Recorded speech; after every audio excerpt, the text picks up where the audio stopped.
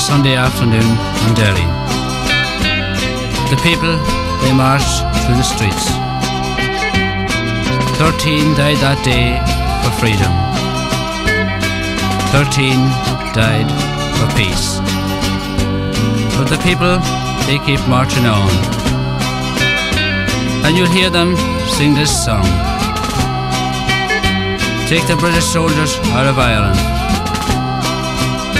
and don't let them linger on.